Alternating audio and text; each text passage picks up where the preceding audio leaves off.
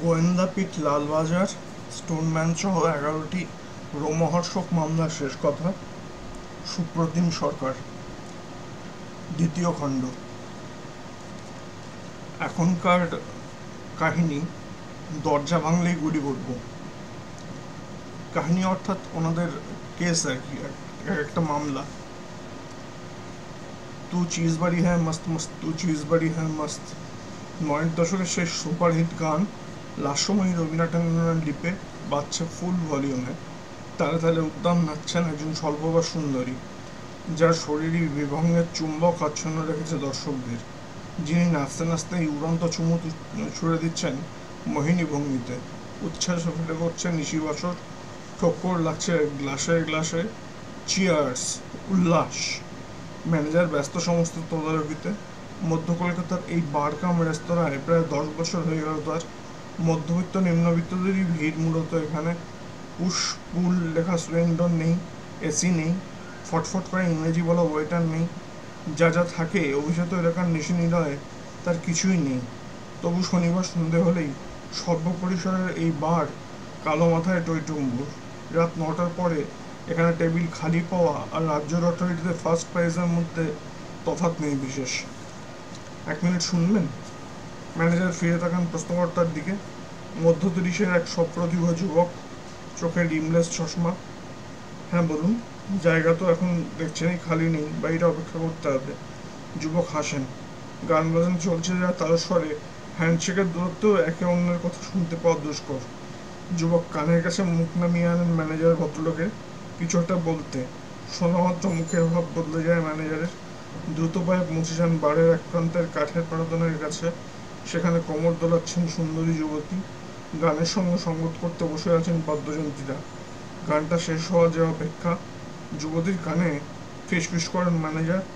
ত্রস্ত পায়ে মঞ্চ থেকে নেমে আসেন যুবতী। স্বল্প বসে বেরিয়ে আসেন বাইরে। চশমা পরা যে যুবক, একটু আগে ম্যানেজারকে কানে কানে কিছু বলার পর পরই এইসব তিনি ততক্ষণে বেরিয়ে এসেছেন বাইরে এবং তার পাশে উদয় হয়েছেন। শক্ত সমর্থ চেহারার আরও চারজন, যাদের মধ্যে দুজন মহিলা। সোজাসুজি নির্দেশ জারি করেন রিমলেস চশমা যুবক, নর্তকী যুবতীর চোখে চোখ রেখে। আপনাকে একবার আমাদের সঙ্গে যেতে হবে। যুবতী হতভম্ব। বিস্ময়ের ঘোর কাটতে সময় লাগে একটু। মানে যেতে হবে মানে? কোথায় যেতে হবে? আপনারা কারা? কোথা থেকে কোথা থেকে আসছেন? Lalbazar. Point three eight revolver loaded বুশার্টের নিচে কোমরে গোঁজা রয়েছে ওদের। ওদের মানে ওদের আটজনের। উদ্দীপরে আসেননি কেউই। সবাই প্লেন ড্রেসে আজ ঘরের দরজায় কড়া নাড়ার আগে চোখাচুকি হয় ওদের। শুধু চোখাচুকি কথা হয় না কোনো। যা কথা হওয়ার হয়ে গেছে আগে। কি কথা? ঘরের ভেতরে যারা আছে, তারা অত্যন্ত মারাত্মক প্রকৃতির। বেপরোয়া। সামান্যতম বিপদের গন্ধ পেলে এই ধুমধারা উর্জি চালাবে বাড়তি সতর্কতা প্রয়োজন। তেমন বুঝলে সঙ্গে সঙ্গে পাল্টা গুলি চালাতে হবে। ঘরে ঢোকার এবং বেরোনোর এই একটাই রাস্তা। অনেক ভুগিয়েছে এরা। আর মাস কালি করে দিয়েছে। যাই হয়ে যাক পালাতে দেওয়া যাবে না। পায়ে স্পার্ক নয় স্পার্ক। মাঝরাত পেরিয়ে ঘড়িতে প্রায় তিনটে। এমন এমন একটা সময় যখন স্ট্রিট লাইটগুলো পর্যন্ত সামান্য স্তিমিত ঢুলছে এমন একটা সময় যখন রাস্তার কুকুরগুলো সাময়িক স্থগিত রেখেছে অপরিচিত আগন্তুক দেখলেই ঘেউ ঘেউ। জিরিয়ে নিচ্ছে দুর্দণ্ড। পালা জাগিয়ে চিৎ চিৎকার করার সময় পরে অনেক পাওয়া যাবে। ভেবেচিন্তেই বাছা হয়েছে সময়টা। নির্দিষ্ট খবরের ভিত্তিতে কোনো দুর্ধর্ষ অপরাধী আস্তানায় রেড করতে গেলে ওটাই মাহেন্দ্রক্ষণ, ওটাই ব্রাহ্ম মুহূর্ত। যাকে ধরতে যাওয়া, তার ঘুমিয়ে থাকার সম্ভাবনা থাকে প্রবল। আর একটা সুবিধা, আশেপাশের বাড়িঘর ধরেও ঘুমিয়ে থাকেন বাসিন্দারা। রাস্তা থাকে শুনশান, পুলিশের গতিবিধির আগাম খবর অপরাধীরা পেয়ে যাবে স্থানীয় সূত্রে। এবং চম্পট দেবে, সে আশঙ্কাও থাকে না বড় একটা। কড়া নাড়া হলো দরজার নেড়ে, দরজার দুপাশে ভাগ হয়ে গেলেন ওরা। সিনেমায় যেমন হয়, একদিকে চার, অন্যদিকে বাকি চার, উত্তর নেই ভিতর থেকে। ভেট ফেট ঠক ঠকা দরজায় এবার জবাব এলো, কে? পুলিশ লালবাজার থেকে আসছি। দরজাটা খুলুন, দরকার আছে। সেকেন্ড দশকের নিরবতার পর ভিতর থেকে ফের ছিটকে উত্তর। গলার স্বরে মরিয়া ভাবটা স্পষ্ট পুলিশ হোক আর যেই হোক, ভিতরে ঢোকার চেষ্টা করলেই গুলি করব। গুলি করার হুমকি যে ফাঁকা নয় ফাঁকা আওয়াজ নয় জানতেনি ঘরের বাইরে থাকা অফিসারেরা। যাদের কোমরে গোঁজে আগ্নেয়াস্ত্র হাতে উঠে এলো নিমেষে, ট্রিগার স্পর্শ পেল আঙুলের। দরজা যে ভাঙতে হতে পারে, সেটাও জানার মধ্যেই ছিল এবং ছিল প্রয়োজনীয় প্রস্তুতিও। শাবল গাঁইতি আনা হয়েছিল ব্যাগে করে। প্রয়োজন হলো না অবশ্য, তেমন পোক্ত দরজা নয়। সজোরে গোটা দশক লাধিতেই কল কবজা দেহ রাখল এবং সঙ্গে সঙ্গে ভিতর থেকে ছুটে এলো গুলি। কাঁচ চেপে বসে বললেন এক অফিসার, পাল্টা গুলি চালানো ছাড়া উপায় কি আর? সত্যি, এসপার ওসপার। অনেক আলোচনা হয়েছে। আমি জাস্ট একটা প্রশ্ন করে মিটিং শেষ করব। নগরপাড়ার দিকে জিজ্ঞাসু দৃষ্টিতে তাকান লালবাজার কনফারেন্স রুমে উপস্থিত অফিসাররা। কি প্রশ্ন? থেমে থেমে ঠান্ডা গলায় বলতে থাকেন সিপি। হোয়াট নেক্সট আমরা কি ছয় নম্বর ডাকাতদের জন্য অপেক্ষা করব? আর ছয়ের পর সাত নম্বরের জন্য লালবাজারের কনফারেন্স রুমে নিশ্চিত নিরাপত্তা নেমে আসে। পিন পড়ল মনে হবে চকলেট বোম ফাট ফাটলো বুঝি গোয়েন্দা বিভাগের অ্যান্টি ড্যাকয়েটি বিভাগের সমস্ত অফিসার উপস্থিত আছেন ডিসিডিডি সবার ঠোঁটে যেন সাইলেন্সার লাগিয়ে দিচ্ছে কেউ। কী বা বলবেন ওরা সিপির প্রশ্নের উত্তরে? বলার মুখ থাকলে তো বলবেন। তিন মাসের মধ্যে পাঁচ পাঁচটা ডাকাতি শহরের বুকে এবং ডাকাতদের ধরা তো দূরস্থান। চিহ্নিতই করা যায়নি এখনও। অথচ জুলাইয়ের তৃতীয় সপ্তাহে যখন প্রথম ডাকাতিটা হয়েছিল, গোয়েন্দারা দূরতম কল্পনাতেও ভাবেননি, পরের কয়েক মাসে তারা পেশাগত জীবনের কঠিনতম চ্যালেঞ্জের মুখে পড়তে যাচ্ছেন। উনিশে জুলাই উনিশশো সাতানব্বই, শনিবার ট্যাংরা অঞ্চলের বাহান্ন ডি রাধানাথ চৌধুরী রোডে ফেডারেল ব্যাংকে কোলাসিবল গেট বন্ধ করার প্রস্তুতি চলছে। বেলা বারোটা প্রায় বাজতে চলল। শনিবার গ্রাহকের জন্য ব্যাংক বন্ধ হয়ে যায় বারোটায়। জনাচারের গ্রাহক এখনও কাউন্টারে আছেন। ওরা কাজ ছেড়ে বেরিয়ে গেলেই ঝাঁপ ফেলে দেওয়া হবে রুটিন মাফিক। কোথায় কাউন্টার বন্ধ করা আর কোথায় ঝাঁপ ফেলা? বারোটা বাজার আগেই ব্যাংকের মধ্যে হুড়মুড়িয়ে ঢুকে পড়ল ছজন যুবক, যাদের চারজনের হাতে রিভলভার বাকিদের হাতে ছুরি। যে চারজন গ্রাহক গ্যাস ক্যাশ কাউন্টারের সামনে দাঁড়িয়ে ছিলেন, তাদের দিকে রিভলভার তাক করে আদেশ দিল এক যুবক। একটাও শব্দ করবেন না। করলে জানে মেরে দেবো। চুপচাপ ওখানে গিয়ে বসে থাকুন। যান ওখানে। ওখানে মানে দেওয়ালের এক কোণে। কাঁপতে কাঁপতে সেখানে গিয়ে বসে পড়লেন চারজন। পাহারার সামনে দাঁড়িয়ে রইল রিভলভারধারী। ততক্ষণে ব্যাংকের ল্যান্ডলাইনের তার কেটে দিয়েছে যুবকের দল। দুই ক্যাশিয়ারকে টেনে বার করে এনেছে কাউন্টারের ভিতর থেকে এবং টাকার গোছা গোছা ব্যান্ডিল তিন যুবক ভরতে শুরু করেছে সঙ্গে আনা থলেতে ব্রাঞ্চ ম্যানেজার রামচন্দ্রন নায়ার আর দুই অ্যাসিস্ট্যান্ট ম্যানেজার গণপতি পেরুয়াল এবং সি জে অগাস্টিন হন্তদন্ত হয়ে বেরিয়ে এসেছিলেন কেবিন থেকে। বাইরে কিছু একটা গন্ডগোলের আভাস করে চিৎকার চেঁচামেচি শুনে দুই যুবক নিমেষে রিভলভার মাথায় ঠেকিয়ে দিল রামচন্দ্রন আর পেরুমলের অগাস্টিন থরথর করে কাঁপতে কাঁপতে নিজেই মাটিতে বসে পড়লেন। ব্রাঞ্চ ম্যানেজারের মাথায় রিভলভার ধরে এরপরে স্ট্রং রুমে নিয়ে যাওয়া, ভল্ট খোলানো এবং ডাকাত দলের থলি দ্রুত ভর্তি হয়ে যাওয়া টাকার বান্ডিলে রামচন্দ্রন কিছু একটা বলতে গেলেন। বারণ করলাম না শব্দ করতে। বোরা রিভলভারের বাঁট দিয়ে সজোরে ভদ্রলোকের কপালে আঘাত করল এক যুবক। রক্তপাত অজরে ব্যাংকের সমস্ত কর্মচারী নিতার হয়ে বসে রইলেন নিজের নিজের চেয়ারে। চোখে মুখে প্রবল আতঙ্কে রাখি বুকি নিয়ে। আধ ঘণ্টার মধ্যে অপারেশন কমপ্লিট। আট লক্ষ আটচল্লিশ হাজার টাকা লুট করে তিনটে মোটর সাইকেলে সওয়ার হয়ে উধাও ডাকাতরা এন্টালি থানার অফিসাররা যখন খবর পেয়ে এলেন, যখন এসে পৌঁছালেন গোয়েন্দা বিভাগের কর্তারা, তখনও আতঙ্কের ঘোর কাঠেনি এলাকায়। তখনও ঘটনার বিবরণ দিতে গলা কাঁপছে ব্যাংকের কর্মচারীদের। পোশাক কেমন ছিল? হাফ শার্ট আর ট্রাউজার? চেহারা? মাঝারি, হাইট এবং দোহা- দোহারা গণন সবারই একজন ছাড়া। সে তুলনায় বেটে, মোটা সোটা, রামচন্দ্রনের ভাষায়, হেফটি অ্যান্ড বাল্কি। কি ভাষায় কথা বলছিল? পরিষ্কার জড়তাহীন বাংলায়। কেউ কাউকে নাম ধরে ডেকেছিল? যতক্ষণ মাইকের মধ্যে ছিল? না। কারও চেহারায় কোনো বিশেষত্ব চোখে পড়েছিল? টাক মাথা বা গালে আঁচিল, কপালে কাটা দাগ বা টেনে টেনে হাঁটা, কোনো কিছু এমন যা দিয়ে আর পাঁচজনের থেকে আলাদা করা যায়? না, তেমন তো কিছু মনে পড়ছে না। বয়স? এই পঁচিশ তিরিশের মধ্যে হবে আন্দাজ। শুধু ওই বেটে মোটা লোকটাকে দেখে বয়স সামান্য বেশি বলে মনে হয়েছে। আবার দেখলে ওদের চিনতে পারবেন? হ্যাঁ হ্যাঁ সেটা ডেফিনেটলি পারব। ভারতীয় দণ্ডবিধিতে অপরাধের স্তর বিভেদ আছে। অফেন্সেস এগেনস্ট বডি অর্থাৎ শারীরিক আঘাতজনিত অপরাধ, খুচরো মারামারি থেকে শুরু করে খুন পর্যন্ত। অফেন্সেস এগেনস্ট প্রপার্টি সম্পত্তির ক্ষতি সংক্রান্ত অপরাধ পকেট মানি ছিচকে চুরি থেকে ডাকাতি পর্যন্ত। সম্পত্তিজনিত অপরাধের তালিকা তালিকায় শীর্ষ বাছাই লেখা বাহুল্য, ডাকাতি। অফেন্সেস এগেনস্ট প্রপার্টির মধ্যে সাধারণভাবে কোন কোন অপরাধকে সবচেয়ে গুরুত্ব দিয়ে দেখা উচিত? বিশ্বের সমস্ত পুলিশ প্রশিক্ষণ কেন্দ্রে শিক্ষার্থীর এই প্রশ্নের জবাবে তিন অক্ষরের একটা শব্দই বরাদ্দ থাকে, ডাকাতি। কেন? সহজ বুদ্ধি। একটা খুন হওয়ার নানা রকম কারণ থাকতে পারে। সে টাকার লোভ বলুন, ব্যক্তিগত দেশ বলুন প্রেম ঘটিত আক্রোশ বলুন বা যৌন ঈর্ষা কারণ যে যাই হোক, একটা বিচ্ছিন্ন খুন সামগ্রিকভাবে আমার আপনার মধ্যে নিরাপত্তা বোধের তীব্র অভাব জাগিয়ে তোলে না। কিন্তু ডাকাতি, পালায় যদি একটা দুঃসাহসিক ডাকাতি হয়ে যায়, মারধর করে লুটপাট চালিয়ে যায় ডাকাতরা, প্রতিবেশীদের মনে অবধারিতভাবে তৈরি হয় ভয় আর আতঙ্কের যুগলবন্দি।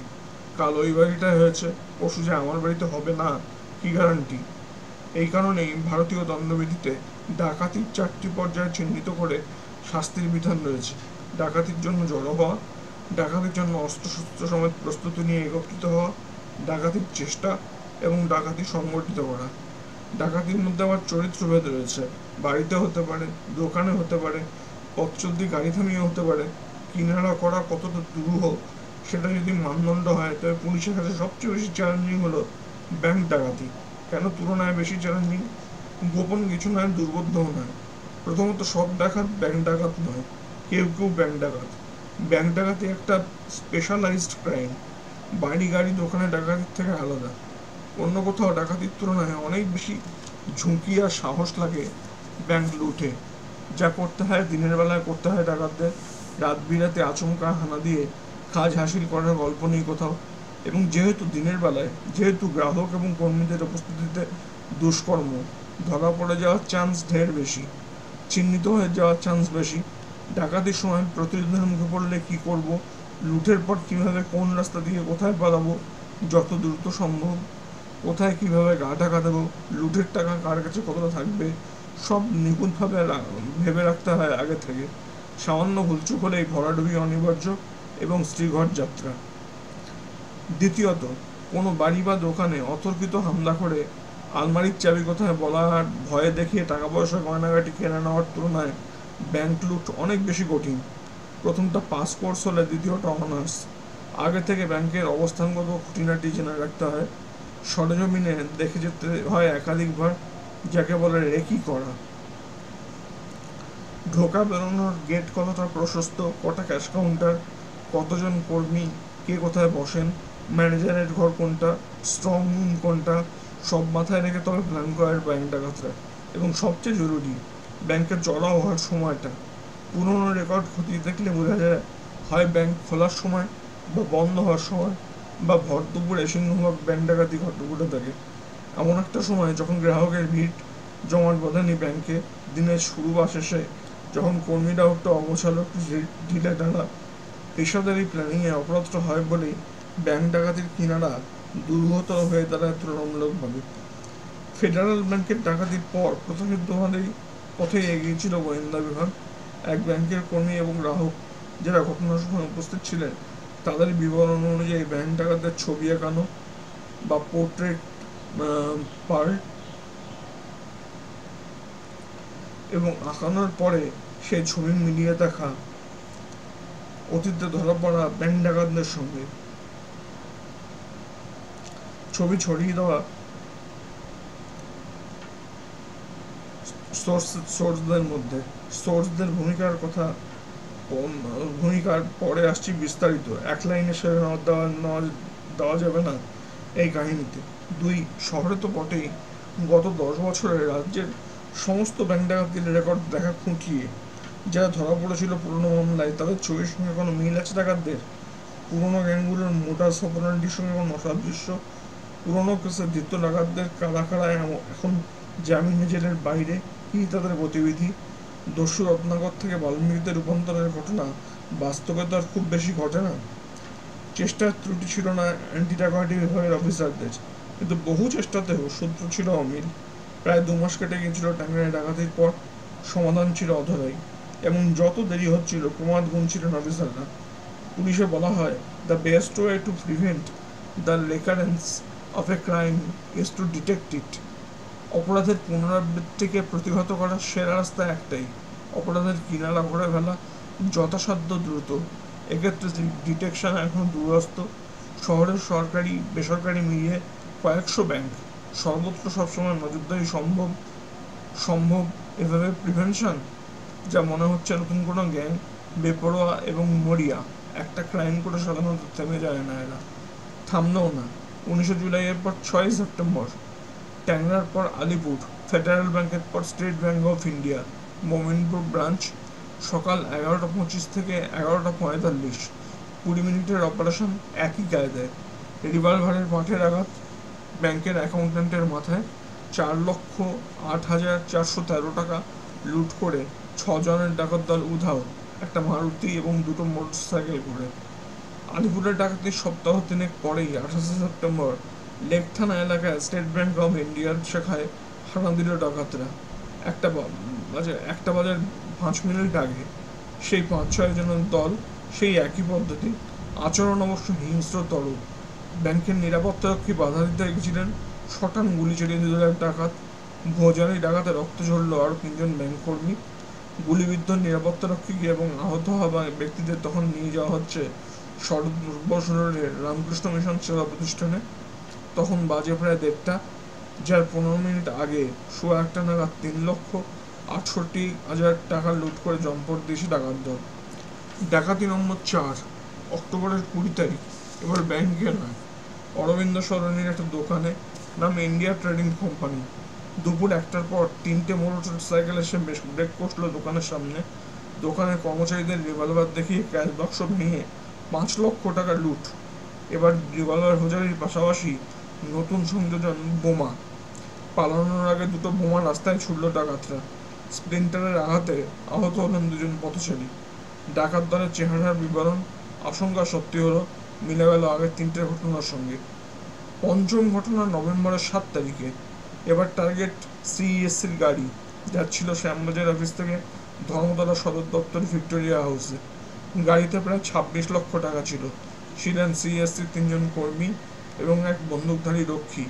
দুপুর একটা নাগাদ মহাত্মা গান্ধী রোড আর চিত্তরঞ্জন অ্যাভিনিউয়ের ক্রসিংয়ের কাছে ক্যাশ ভ্যানের পথ আটকে দাঁড়াল তিনটে মোটর সাইকেল ড্রাইভারের মাথায় এরপর রিভলভার ঠেকানো, রক্ষীর বন্দুক কেড়ে নেওয়া এবং এক কর্মীর মাথায় রিভলভারের বাঁট দিয়ে মেরে রক্তপাত ঘটানো এবং পঁচিশ লক্ষ ছিয়ানব্বই হাজার চারশো বারো টাকা নিয়ে তীর বেগে উধাও হয়ে যাওয়া। পাঁচ ছ জনের দলের। যাদের চেহারার বর্ণনা প্রত্যক্ষদর্শীদের থেকে শুনে পুলিশের সন্দেহের ন্যূনতম অবকাশ থাকল না, এরা ওরাই। একই গ্যাং। পাঁচজন মাঝারি হাইটের দোহারা চেহারা, একজন বেটে মোটাসোটা উনিশে জুলাই ছয় সেপ্টেম্বর, আঠাশে সেপ্টেম্বর, বিশে অক্টোবর এবং সাতই নভেম্বর। চার মাসেরও কম সময়ের মধ্যে পাঁচটা দুঃসাহসিক ডাকাতি। লুট প্রায় পঞ্চাশ লাখের কাছাকাছি। যথেচ্ছ গুলি বোমার ব্যবহার স্বীকার করতে দ্বিধা নেই। নড়ে গিয়েছিল লালবাজার। আতঙ্ক ছড়িয়ে পড়েছিল শহরে। আশঙ্কা, উদ্বেগ, উৎকণ্ঠার ত্রিভুজে দমবন্ধ অবস্থা হয়েছিল গোয়েন্দা বিভাগের অফিসারদের। কারা এরা? এরপর কবে? কোথায়? কখন? দীর্ঘ বৈঠকের পরে লালবাজারের কনফারেন্স রুমে কটাক্ষের সুরে এই প্রশ্নটাই চলে দিয়েছিলেন সিপি হোয়াট নেক্সট আমরা কি ছ নম্বর ডাকাতির জন্য অপেক্ষা করব? আর ছয়ের পরে সাত নম্বরের জন্য? সরকারের উপর মহলে ডাকাতি ঘটনাগুলো দ্রুত সমাধানে কলকাতা পুলিশের ব্যর্থতার জবাবদিহি করতে করতে সাময়িক ধৈর্যচ্যুতি করেছিল সিপির যদিও নগরপাল জানতেন বিলক্ষণ কি প্রাণান্তকর চেষ্টা চালাচ্ছিলেন গোয়েন্দারা, যাদের কাছে দুটো ব্যাপার পরিষ্কার হয়ে গিয়েছিল ডাকাতির। ঘটনাগুলো চলছে না পোস্টমর্টমে।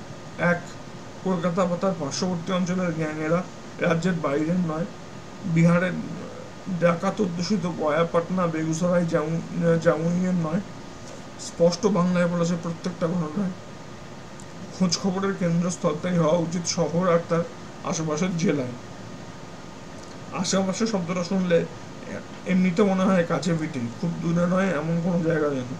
এক্ষেত্রে কিন্তু নামেই শুধু আশেপাশে। আসলে হাজার হাজার বর্গ কিলোমিটারের বিস্তীর্ণ এলাকা। উত্তর চব্বিশ পরগনার ব্যারাকপুর, মহকুমার টিটাগড়, জগদ্দল নোয়াপাড়া নৈহাটি, বীজপুর, বারাসত সংলগ্ন এলাকার মধ্যমগ্রাম আমডাঙ্গা, দেগঙ্গা। সঙ্গে যোগ করুন বসিরহাট এবং বনগাঁ মহকুমার ব্যাপ্ত ভূখণ্ড। দক্ষিণ চব্বিশ পরগনার বারুইপুর, জয়নগর, কুলতলি, গোসাবা, বাসন্তী, ক্যানিং, ধামাখালী এবং সুন্দরবন সংলগ্ন অঞ্চল। হাওড়া, হুগলি তো আছেই। একদিকে সাঁতরাগাছি, তমজুর, আন্দুল ইত্যাদি। অন্যদিকে চুঁচুড়া, কোলবা, ধনেখালি, মগরা, পান্ডুয়া সিঙ্গুর চণ্ডীতলা, জাঙ্গিপাড়া প্রভৃতি। দুই পাঁচটা ঘটনার একটা তো উমুক ডাকা ছিল না ডাকাতদের। অনেকেই দেখেছে চেহারাগুলো, মনে রেখেছে। অন্তত পঞ্চাশ ষাট জনের সঙ্গে কথা বলে ছবি আঁকানো হয়েছে ছজনের, অথচ চিহ্নিত করা যায়নি। না পাওয়া গেছে পুরনো রেকর্ডে, না চিনতে পেরেছে সোর্সরা, নতুন জ্ঞান। অথচ প্রতিটি ঘটনায় এ টু জেড টুফোর প্ল্যানিং সিএসসির টাকা কখন কোন রাস্তা দিয়ে শ্যামবাজার থেকে ধর্মতলা যাবে, খবর ছিল নিখুঁত। অরবিন্দ সরণির দোকানের বাক্স ভাঙলে যে প্রচুর টাকা পাওয়া যাবে, অজানা ছিল না ওদের। ডাকাতদের ছবি আঁকানোর অবশ্য প্রয়োজনই হতো না আজকের দিন হলে। সব ব্যাংকে সিসিটিভি আছে আজকাল। এক মিনিটে ফুটেজ চলে আসে হাতে। ঘটনা উনিশশো সাতানব্বই এর। তখন না ছিল সিসিটিভি, না ছিল হাতে হাতে মোবাইল ফোন। ইলেকট্রনিক ইন্টেলিজেন্সের সুবিধা থেকে বঞ্চিত ছিলেন সে সময় তদন্তকারীরা। ভরসা ছিল শুধু হিউম্যান ইন্টেলিজেন্স। সাদা বাংলায় সোর্স সোর্স যারা পুলিশকে খবর দেয় কারা দেয় অপরাধের খবর। অপরাধের খবর কি ভারত সেবাশ্রম বা রামকৃষ্ণ মিশনের সন্ন্যাসীরা দেবেন? অপরাধ জগতের সঙ্গে যারা যুক্ত অতীতে বা বর্তমানে, তারাই দেবে। তারাই দেবে খবর, অপরাধের সূত্রেই, যাদের সঙ্গে কখনো কখনো যোগাযোগ হয়েছে পুলিশ অফিসারের, অফিসারদের। যোগাযোগ থেকে ক্রমশ সম্পর্ক তৈরি হয়েছে খবর আদান প্রদানে সোর্স তৈরি করা এবং তাকে লালন করা এক শিল্প বিশেষ।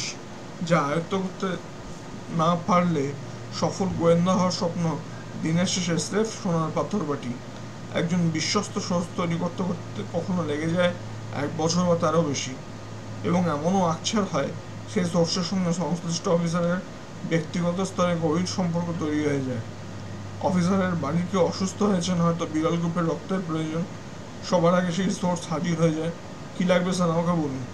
এবং প্রাণপাত দৌড়ঝাঁপে জোগাড় করে আনে নির্দিষ্ট গ্রুপের রক্তদাতা।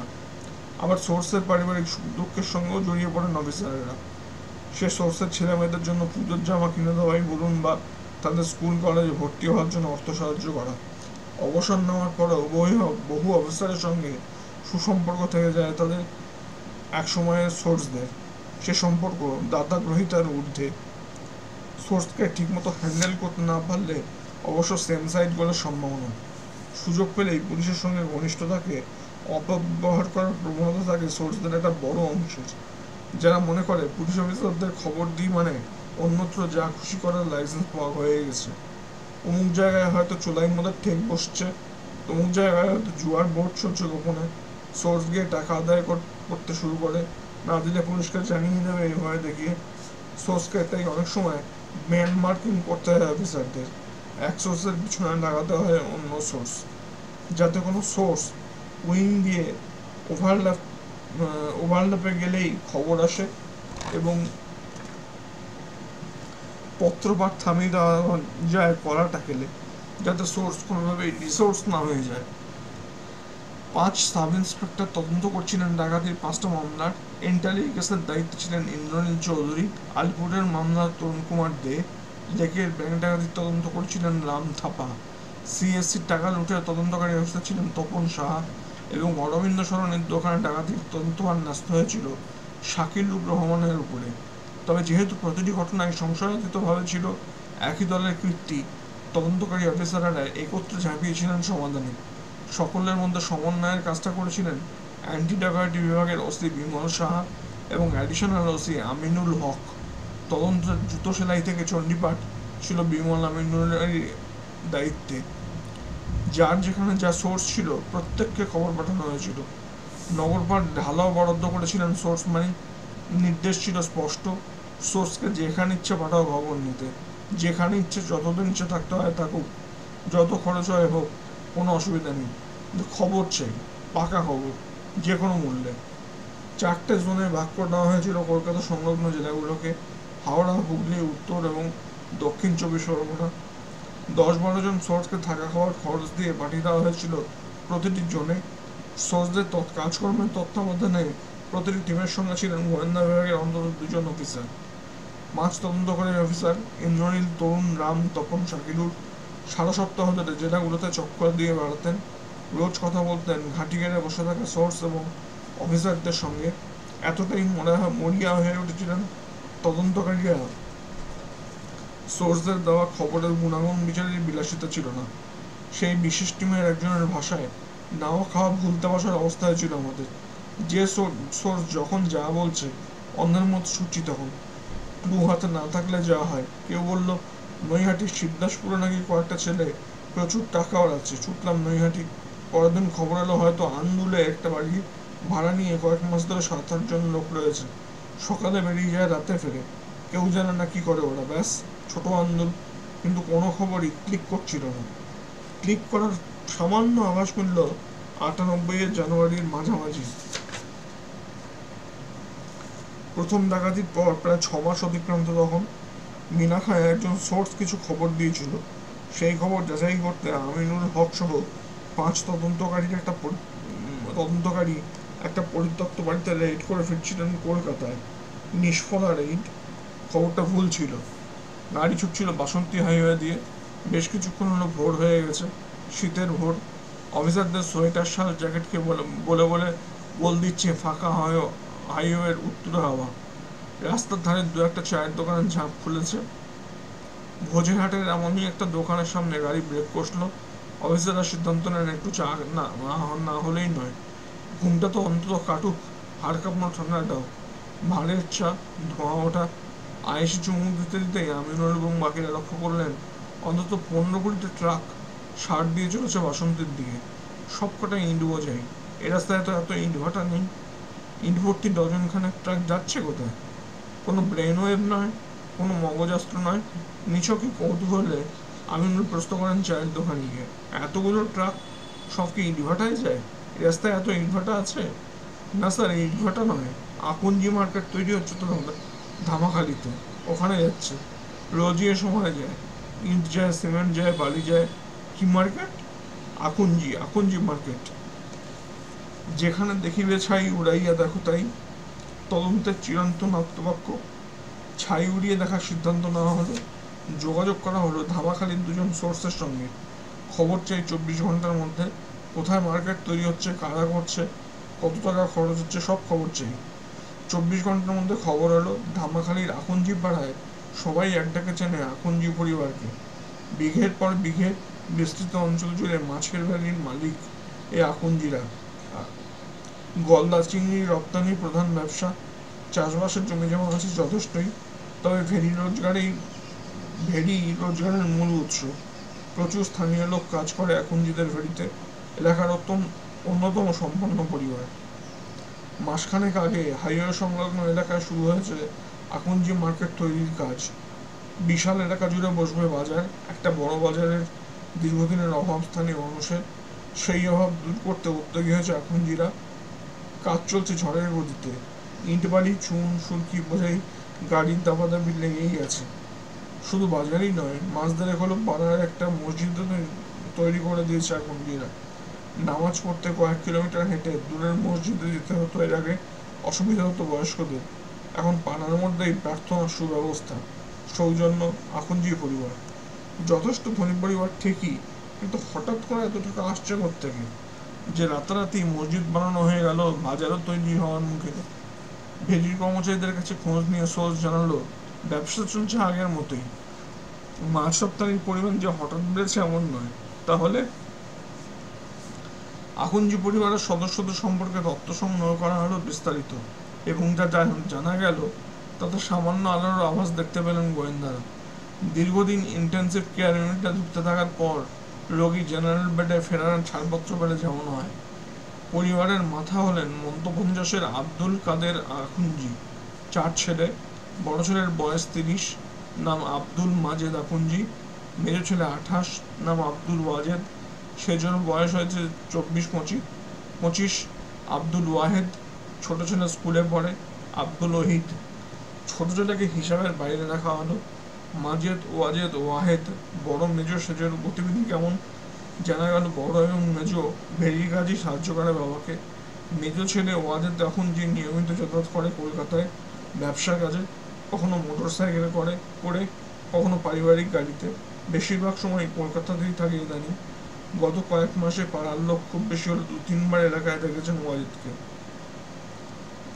পাঁচটা ডাকাতিতে প্রত্যক্ষদর্শীদের বিবরণ অনুযায়ী আঁকা হয় ছয় ডাকাতের ছবি দেখানো হলো স্থানীয় কয়েকজনকে। একটা ছবিকে প্রায় সবাই চিহ্নিত করলেন, আরে, এটা একদম ওয়াজেদ ভাইয়ের মতো দেখতে। ছবি দেখে লোকে চিনেছে। হঠাৎ টাকা খরচ হচ্ছে জলের মতো। পরিবারের তরফে রাতারাতি এলাকায় তৈরি হচ্ছে মসজিদ, গড়ে উঠছে বাজার। কলকাতায় মেজর ছিল ওয়াজেদ, পুরো মাস মাসটাই কাটাচ্ছে, দেখা যাচ্ছে না এলাকায়। এই পরিস্থিতিতে লালমোহনবাবু হলে যা বলতেন, সেটাই মাথায় ঘুরছিল গোয়েন্দাদের। Highly suspicious. সব দিক বিচার করে একটাই সিদ্ধান্ত নেওয়ার ছিল আকুঞ্জিদের বাড়িতে রেড করার প্রায় তিন বিঘে জমির উপর বাড়ি বাড়ি তো নয় যেন দুর্গ। দশ বারো ফুট উঁচু পাঁচিল, ঢোকার গেট একটাই। পুরো বাড়িটা ঘিরে ফেলতে পঞ্চাশ ষাট জন লোকের দরকার ন্যূনতম।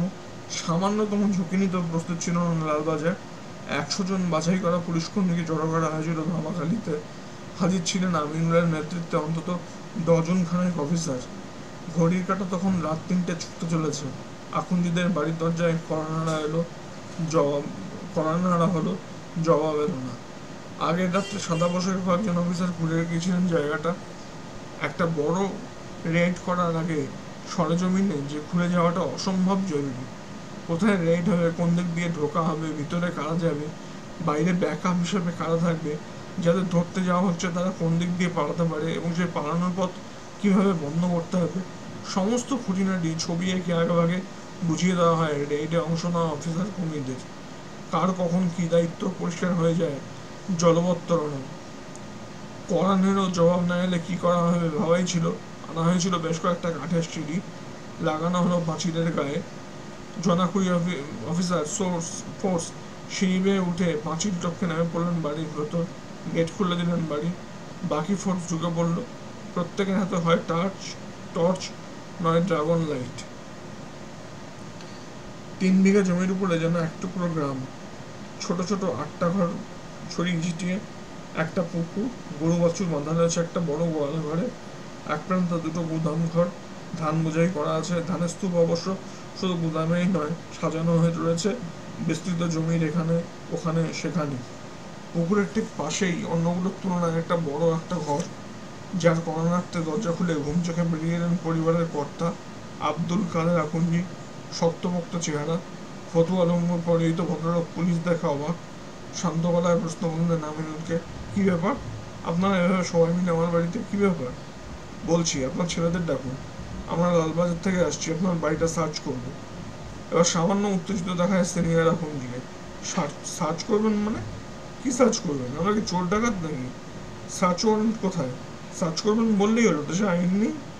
আইনের আলোচনা আপনার সঙ্গে করতে আসেন এখনজি সাহেব। আর চোর ডাকাত কিনা সেটা তো আপনি ভালো বলতে পারবেন। আপনার ছেলেরা বলতে পারবে। কোথায় ওরা? কোথায় সেটা জানতে ততক্ষণে আকুঞ্জিদের বাড়ির প্রতিটি কোনায় তল্লাশি শুরু করে দিয়েছে পুলিশ বাহিনী। গুদাম ঘর, গোয়াল ঘর ধানের স্তূপ, কিচ্ছু বাদ নেই। কয়েকটা ঘর তালাবন্ধ ছিল। বাকিগুলো থেকে বেরিয়ে এসেছে পরিবারের অন্য সদস্যরা। বেরিয়ে এসেছেন বাড়ির কাজের লোকেরাও পুরুষ সদস্য বলতে গৃহকর্তা নিজে ছাড়া উপস্থিত চার ছেলের মধ্যে তিনজন। বড় মাজেদ, সে ওয়াহেদ, এবং সুলপুরুয়া ছোট ছেলে ওহিদ। আপনার মেজ ছেলে ওয়াজেদ কই? ও বেশিরভাগ সময় ব্যবসার কাজে কলকাতায় থাকে। মাসে এক দুই দিন আসে। কোথায় থাকে কলকাতায়? সেটা বলতে পারব না। শেষ কবে এসেছিল এখানে? মাসখানেক আগে হবে। ভালোই তো ব্যবসা আপনাদের। ডাকাতির মধ্যে না ঢুকলে চলছিল না। এবার লাকে ফেটে বললেন এখন জি সাহেব। মানে? বাড়ি বয়ে এসে যা খুশি বলবেন, যা খুশি করবেন? সে পুলিশ বলে, কে ডাকাতি করেছে? এবারে কতদিন ধরে আছি জানেন? খোঁজ নিয়ে দেখুন না আমাদের ব্যাপারে। পুরো বাড়ি তছনছ করে দিচ্ছেন সার্চের নামে। এমনি আপনারা ছেড়ে দেবো ভেবেছেন? কোর্টে যাব। কোর্টে যাওয়ার সত্যি সম্মত কারণ থাকবে অফিসাররা বুঝতে পারছিলেন তল্লাশির পর কিছুই পাওয়া গেল না তন্ন করে খোঁজার পরেও। রিভলভার না, গুলি না, বোমা না ব্যাংক লুটের একটা টাকাও না। হাল ছেড়ে দেওয়ার প্রশ্ন ছিল না। সিনিয়র আকুঞ্জির প্রবল প্রতিবাদকে উপেক্ষা করেই জিজ্ঞাসাবাদের জন্য গোয়েন্দারা লালবাজারে নিয়ে এলেন মাজেদ আর ওয়াহেদকে। নিয়ে তো এলেন, কিন্তু রাতভর ঘণ্টার পর ঘণ্টা জেরা করেও ডাকাতির ব্যাপারে স্বীকারোক্তি দূরের কথা। কোনো বাড়তি তথ্য পাওয়া গেল না। দুজনে একই কথা উঠে গেলেন তোতা পাখির মতো। ডাকাতির ব্যাপারে কিছুই জানি না আমরা। মেজ ভাই ওয়াজিদ কোথায়? দুই ভাইয়ের একই উত্তর। কাটা রেকর্ড রেকর্ডকেও লজ্জা দিয়ে লজ্জা দিয়ে বিশ্বাস করুন, জানি না। গ্রেফতারির প্রশ্ন আসে অপরাধের সঙ্গে নির্দিষ্ট যোগসূত্র বা প্রমাণ পাওয়া পাওয়া গেলে তবেই। পাওয়া গেল না এবং ছেড়ে দিতে হলো দুই ভাইকে। সোর্সদের বলা হলো, গতিবিধির উপর নজর রাখতে। নজরদারির ব্যাপারে একটা জরুরি সিদ্ধান্ত নিলেন গোয়েন্দা প্রধানরা। হাওড়া, হুগলি, উত্তর চব্বিশ পরগনায় যে অফিসাররা ঘাঁটি গেড়েছিলেন সমেত সোর্স সহ, তাদের সবাইকে বলা হলো দক্ষিণ চব্বিশ পরগনা চলে আসতে। বামনঘাটা ভোজেরহাট কটকপুকুর মিনাখা মালঞ্চ হয়ে ধামাখালি পর্যন্ত সর্বত্র ছড়িয়ে গেলেন অফিসাররা বৃত্তটা ছোট হয়ে এলো অনেক। এলাকায় পাকাপাকি নোংর ফেলে খবর জোগাড়ের চেষ্টা শুরু করল সোর্সরা ওয়াজেদ আকুঞ্জি কোথায়? খবর এলো, দ্রুতই এলো। ওয়াজেদ আকুঞ্জিকে সপ্তাহখানেক আগে দেখা গেছে ঘটকপুকুর এলাকায়। হাইওয়ের ধারে একটা চায়ের দোকানে সন্ধ্যাবেলায় এসেছিল মিনিট দশেকের জন্য। একজন লোকের সঙ্গে কিছুক্ষণ কথা বলে চলে গেছে মোটর সাইকেল করে। দোকানির সঙ্গে কথা বললেন গোয়েন্দারা। লোকটা কার সঙ্গে কথা বলছিল চায়ের দোকানে? একটা বেটে মতো লোক, মোটা সোটা। এই সেই দুয়ে দুয়ে চারের মুহূর্ত। বেটে মতো লোক, মোটা সোটা। Hefty and bulky. যেমনটা এফআইআর এ লিখেছিলেন ফেডারেল ব্যাংকের ম্যানেজার রামচন্দ্রন। ঠিক যেমন চেহারার লোকের বিবরণ পাওয়া গেছে পাঁচটা ঘটনাতেই। চেনের বেটে লোকটাকে এক দুবার এসেছে আমার এখানে চা খেতে। মুখ চিনি, নাম জানি না। হুম, বেটের লোকটা যার সঙ্গে কথা বলছিল, সে একা এসেছিল? না স্যার, সঙ্গে একটা মেয়ে ছিল। মেয়ে? হ্যাঁ স্যার, কুড়ি বাইশ বছর বয়স হবে। খুব ফর্সা, লম্বা, দারুণ দেখতে। মেয়েটিকে আগে এলাকায় দেখেছেন কখনো? না স্যার। আমি বরং লোকটা, মেয়েটাকে নিয়ে মোটর সাইকেল করে বেরিয়ে যাওয়ার পর ওই বেটে মোটা লোকটাকে জিজ্ঞাসা করেছিলাম, একে তো আগে দেখিনি কখনো এদিকে? কি বলেছিল? বলেছিল মেয়েটাকে নাকি, মেয়েটা নাকি নাচে কলকাতায়। পরের চব্বিশ ঘন্টায় ঘটকপুকুর এবং সংলগ্ন এলাকার গ্রামগুলোতে সাদা পোশাকের পুলিশ এবং সোর্সরা চষে ফেলল এবং জানা গেল, হেফটিয়ান বাল্কি লোকটির পরিচয় আব্দুল হাই গায়েন। বর্ণালী গ্রামের বাসিন্দা ইটভাটার মালিক কলকাতায় চালের ব্যবসা করতে এক সময় লরি চালাতে পারে। এলাকায় যথেষ্ট ডাব্বট ইটভাটায় লরি পার্ক করা নিয়ে সম্প্রতি স্থানীয় মানুষদের সঙ্গে কথা হয়েছিল। হাতাহাতিও। আব্দুল হাই নাকি শূন্যে গুলি চালিয়েছিল ঝামেলার সময়। বছর দুয়েক আগে চুরি ছিনতাই জাতীয় কেসে নাকি একবার পুলিশে ধরাও পড়েছিল। ইদানিং বাড়িতে থাকছে না। সন্দেহের দ্বিধার আর সংশয়ের জায়গা ছিল না। ছয় ডাকাতে দুজন নিশ্চিতভাবে আকুঞ্জি এবং আব্দুল হাই। এদের ধরতে পারলেই বাকি চারের হদিশ মিলবে।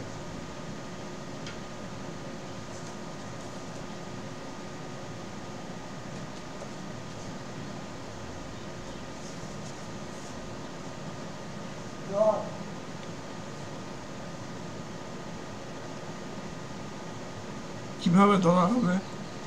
হাতের কাছে তথ্য বলতে আপনজিকে একটি মেয়ের সঙ্গে দেখা গেছে কলকাতায় নাচে কোথায় নাচে নিশ্চয়ই পানশালায় কোনো বাড়ি। কলকাতায় বাড়ি নাচে এমন একটা মেয়েকে খুঁজে বার করতে হবে। লম্বা, ফর্সা সুন্দরী, যার সঙ্গে ধামাখালির এক যুবকের ঘনিষ্ঠ সম্পর্ক আছে ইদানিং। এটুকু না পারলে আর কিসের লালবাজার কিসের আর স্কটল্যান্ড ইয়ার্ডের সঙ্গে তুলনা? দুজন সোর্সকে চিহ্নিত করা হলো, যাদের নিয়মিত যাতায়াত আছে কলকাতার সেসব পাঞ্চালায় যেখানে গানের পাশাপাশি টুকটাক নাচও হয়। বলে দেওয়া হলো, সন্ধ্যা থেকে বারগুলোতে কাটাও। যা খরচা হবে আমরা দেবো। দিন তিনেকের মধ্যে খবর নিয়ে হাজির হলো সোর্স। আসল নামটা লিখলাম না। নাম ধরা যাক আশিস। নিখরচায় সন্ধ্যা থেকে জলবদ্ধ থাকার সুযোগ পেয়ে। যে যান প্রাণ লাগিয়ে দিয়েছিল মেয়েটাকে খুঁজে বার করতে। স্যার, ইডিয়ট রোডের কাছে বারটা। মেয়েটা হাতি বাগানে। কি করে বুঝলি এই মেয়েটাই? অঙ্কে এমএসসি করা লোককে যদি জিজ্ঞাসা করেন এ প্লাস বি হোল স্কোয়ারের ফর্মুলা কি প্রতিক্রিয়া হবে? অনুকম্পার হাসি তো? অবিকল সেই হাসি আসলেন হাসিস কি যে বলেন স্যার, এটা বোঝা কোনো ব্যাপার হলো? বারে নাচে ফসল লম্বা সুন্দর দেখতে আমার পাঁচটা মায়ের খোঁজ পেলাম গত দুদিনে। লোক ফিট করলাম পাঁচজনের পিছনে। এই হাতি বাগানের মেয়েটা কিছুদিন হলো ট্যাক্সি করে বাড়ি আসছে। আগে বাসে করে আসতো। গলায় মাস কাটা হলো সোনা সোনার নেকলেস পরছে। হেব্বি দামি ঘড়ি- পড়ছে। আর গত শনিবার একটা গাড়ি এসে বাড়ির বাইরে অপেক্ষা করছিল। নাচ শেষ হওয়ার পরে সেই গাড়িতে করে মেয়েটা বেরিয়ে গেছে। একটা ছেলে গাড়িটা চালাচ্ছিল। ছেলেটার ব্যাপারে তেমন কেউ বলতে পারছে না। তবে মেয়েটার চালচলন ইদানিং বদলে গেছে। হাতে মাল করে এসেছে হঠাৎ।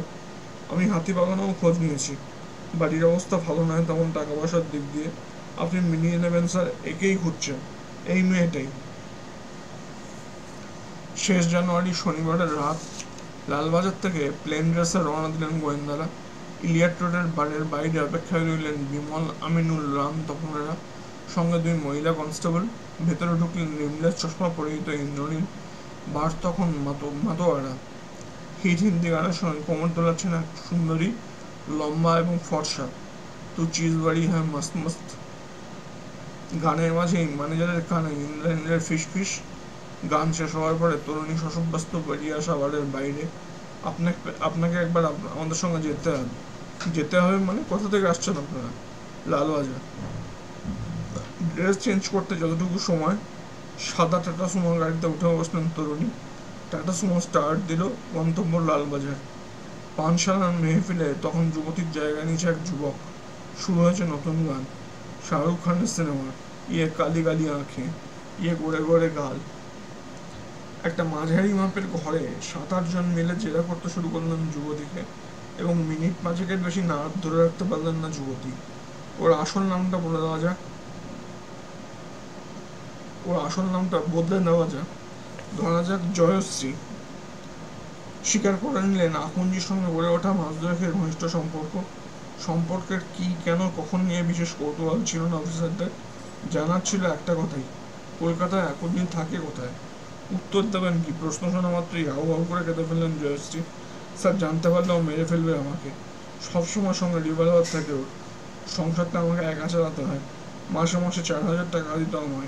এই লোভে পড়ে প্লিজ স্যার ও আমাকে মেরে ফেলবে জানতে পারবে।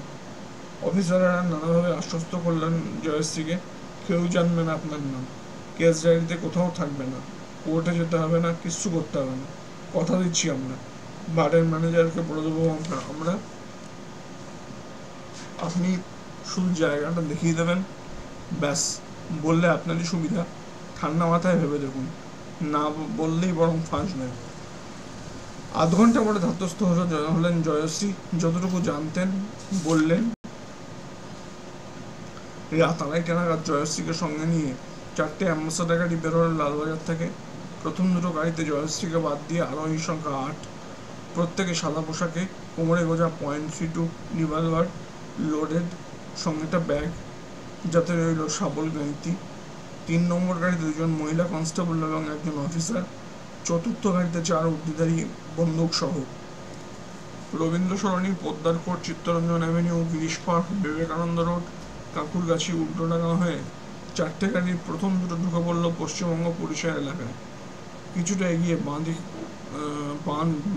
বাঁক নিল বাঁ দিকে। তিন আর চার নম্বর গাড়ি থেকে গেল উল্টোডাঙ্গা মোড়ে। প্রথম দুটো গাড়িও থামলো একটু পরে। লেকটাউন কালিন্দি হাউসিং প্রজেক্ট থেকে একটু দূরে। একতলা একটা ফ্ল্যাটের সামনে অফিসারদের নিয়ে গেলেন জয়শ্রী। ওর কাজ শেষ। পৌঁছে দেওয়া হলো উল্টোডাঙ্গায়। সে- যেখানে অপেক্ষমান তিন নম্বর গাড়িতে করে দুজন অফিসার এবং একজন মহিলা কনস্টেবল জয়শ্রীকে নিয়ে রওনা হয়ে গেলেন হাতিবাগানের বাড়িতে পৌঁছে দিতে। দরজার দুদিকে ভাগ হয়ে গেলেন অফিসাররা। পাঁচ তদন্তকারী ছাড়াও দলে ছিলেন সাব ইন্সপেক্টর মনোজ দাস এবং আরও দুই অফিসার। তাগড়াই চেহারার মনোজ বর্তমানে পশ্চিমবঙ্গ পুলিশের ডেপুটেশনের ডিএসপি হিসেবে কর্মরত। কলকাতা পুলিশের ডাকাবক্ষ অফিসার বলে পরিচিত ছিলেন। প্রথমবারের কল আনার কোনো আওয়াজ নেই ঘরের ভিতর থেকে। দ্বিতীয়বারে ছিটকে এলো মরিয়া উত্তর পুলিশ হোক আর যাই হোক। ভেতরে ঢোকার চেষ্টা করলে গুলি করব। লাথি মেরে দরজা ভাঙার সঙ্গে সঙ্গে ভিতর থেকে ছিটকে এলো গুলি, লাগল মনোজের কাঁধে। অবিরাম রক্তপাত, ক্ষতস্থান চা হাত দিয়ে চেপে মাটিতে বসে পড়লেন মনোজ এবং ঘরের ভিতর থেকে দ্বিতীয় গুলি চলার আগেই পাল্টা গুলি চালালেন এক অফিসার। আখনজিৎ কোমরের নিচে ডানুর কাছে গুলি লাগল। এই যে আখনজি এক পলকেই পলকের দেখাতেই বুঝলেন গোয়েন্দারা। আঁকানো ছবির সঙ্গে যথেষ্ট বেশি মিল আখনজি একা ছিল না ফ্ল্যাটে, সঙ্গে ছিল আরেকজন। দুজনের উপরে নিমেষে ঝাঁপালেন গোয়েন্দারা। কেড়ে নেওয়া হলো আকুঞ্জির রিভলভার অন্য লোকটাকে ধরাশায়ী করতেও লাগল। খুব বেশি হলো পনেরো সেকেন্ড। ওয়াকি টকিতে ততক্ষণে খবর পাঠিয়ে দিয়েছেন এক officer move to Kalindi at once quick উল্টোডাঙ্গার মোড় থেকে চতুর্থ গাড়ি তখন টিট ব্যাগে ছুটছে লেক টাউনের দিকে। গুলিগোলার আওয়াজে তখন ঘুম ভেঙে গেছে আশেপাশের বাসিন্দাদের। আতঙ্কে অনেক, অনেকে বেরিয়ে এসেছেন রাস্তায় এবং বিস্ফারিত চোখে দেখছেন গুলিবিদ্ধ অবস্থায় এক অফিসারকে ধরাধরি করে অ্যাম্বুলেন্সে তুলছেন সদস্যরা। দুই যুবককে একতলার ফ্ল্যাট থেকে টেনে বার করে আনছে পুলিশ। একজনের কোমরে দড়ি আর একজন রক্তাক্ত, তাকেও তোলা হচ্ছে অ্যাম্বুলেন্সে। আরে, এ তো চেনা মুখ ভদ্র নম্র ব্যবহার, মাস ছয়েক হলো এখানে ফ্ল্যাট ভাড়া নিয়েছে। প্রমোটারি করে বলেই তো জানে পাড়ার লোকেরা। এ এ ব্যাংক ডাকাতির পান্ডা।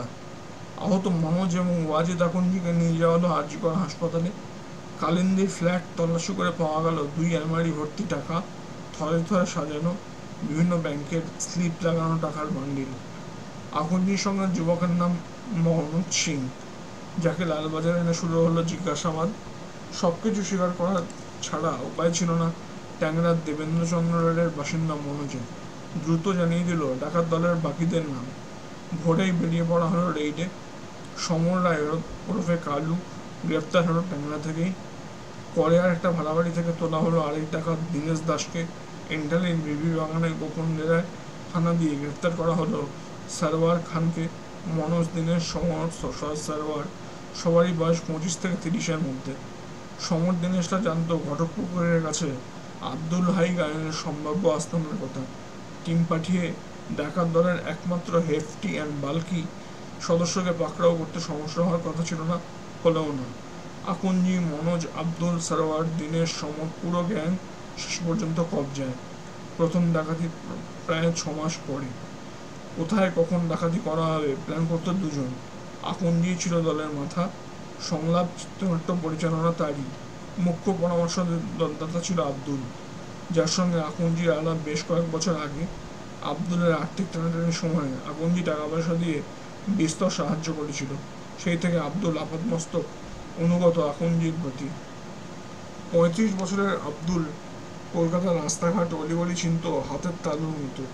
প্রায় পাঁচ বছর বড় বাজার একটা চাল ব্যবসায়ীর কাছে কাজ করেছে। লরি চালিয়ে চাল নিয়ে গেছে শহরের এই মাথা থেকে ও মাথা। কোথায়, কখন, কীভাবে হানা দিলে দ্রুত কাজ হাসিল হবে আর পালানো যাবে নিরাপদে? আব্দুলি বুদ্ধি দিত আকুঞ্জিকে। এবং আব্দুলি পুরনো পরিচয় সূত্রে জুটিয়েছিল টিমের বাকি চারজনকে। মনোজ, সমর ট্যাংরায় একই পাড়ার বাসিন্দা কাটবে কাট দুজনেই দীনেশ এবং সারোয়ারের কাজকর্মের বিশেষ কিছু ছিল না। পাড়ায় খুচরো দাদাগিরির ইতিহাস ছিল কিছু। যেখানে যেখানে ডাকাতি হয়েছিল, সেখানে তার আগে পুরো টিম নিয়ে হাজির হতো আকুঞ্জি জায়গাটা আরও আগে থেকে দেখে রাখতো আব্দুল। ডাকাতির পর যে রাস্তা দিয়ে চম্পট দিতে হবে সেই রাস্তা দিয়ে এরা ট্রায়াল রান দিত গভীর রাতে। পরের দিন যাতে কোনো বিভ্রান্তি না থাকে পান থেকে যাতে চুন না খসে। যে মোটর সাইকেলগুলো ব্যবহার হয়েছিল ডাকাতিতে সব কটা ছোড়াই জোগাড় করেছিল আব্দুলি। ট্যাংনার ডাকাতিতে ব্যবহৃত হয়েছিল যে মারুতি গাড়ি, সেটাও চোরাই গাড়ি। খোঁজ মিলল না গাড়িগুলোর। এখন যিনি পরামর্শ মতো মোটর সাইকেল দুটো আব্দুল ধাপার মাঠের কাছে ফেলে দিয়ে এসেছিল, পাঁচ নম্বর ডাকাতির পর সেগুলো খুঁজে পাওয়ার সম্ভাবনা ছিল না, পাওয়াও গেল না। মারুতি গাড়িটা বসিরহাটের টাকির বাসিন্দা এক পরিচিতের কাছ থেকে কয়েকদিনের জন্য গাড়িটা ধার নিয়েছিল আব্দুল, যা হলো সেই পরিচিতের বাড়ি। তারা চাবি বন্ধ করে মাসখানেক আগে বাড়ির বাসিন্দারা অন্য কোথাও চলে গিয়েছে। আহত সাব ইন্সপেক্টর মনোজ সুস্থ হয়ে উঠলেন ক্রমশ। মাসখানেক পরে পুলিশি প্রহারায় চিকিৎসাধীন আকঞ্জিও সুস্থ হয়ে উঠল। লালবাজারের জেরার মুখোমুখি হয়ে আকুঞ্জি প্রতিটা প্রশ্নের উত্তর দিল একটা বুঝে গিয়েছিল গেম ওভার কিন্তু কিছু লুকিয়ে আর লাভ নেই। বাকিরা সবটা বলে দিয়েছে, মিথ্যে বললে দুর্ভোগই বাড়বে, পুলিশ বিশ্বরূপ দেখিয়ে ছাড়বে। এত জমি জমা মাছের এমন নমনমা ব্যবসা, নতুন গ্যাং তৈরি করে ডাকাতির প্ল্যান কি করে মাথায় এলো? আর কেনই বা এলো? জবাবে আকঞ্জি কোনো রাগঢাক করল না। ফ্যামিলি বিজনেস বিজনেসে থাকলে যেমন চলছিল, তেমনই চলতো স্যার মানে আমার আরও আরও অনেক বেশি বড়লোক হওয়ার ইচ্ছে হতো। বিরাট দামি বাড়ি গাড়ি হবে।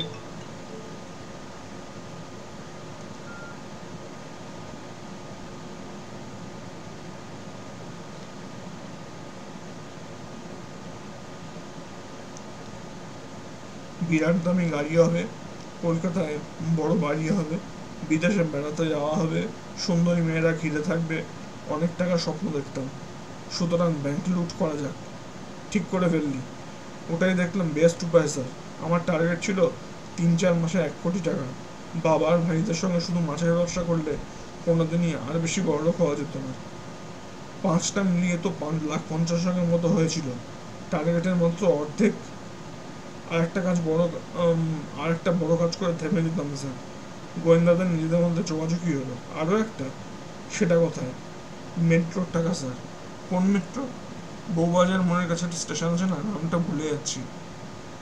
সেন্ট্রাল হ্যাঁ স্যার সেন্ট্রাল ওই স্টেশনের কাছে মাটির তলায় মেট্রোর অনেক টাকা রাখা মেট্রোর অনেক টাকা রাখা হয় বলে খবর পেয়েছিলাম। ওই কাজটায় একেবারে তিরিশ চল্লিশ তো হতোই। ফের একে অন্যের দিকে তাকান অফিসারেরা সত্যি আন্ডারগ্রাউন্ড ক্যাশ স্টোর আছে। একটা সেন্ট্রাল স্টেশন স্টেশনের প্রায় লাগোয়াই। অনেক টাকা থাকে। পুলিশের বন্দুকধারী থাকে পাহারায়। মেট্রো কর্তৃপক্ষের নিজস্ব গার্ডও থাকে। ছ নম্বর ডাকাতিটা ওখানে হতে যাচ্ছিল। তা করলি না কেন কাজটা?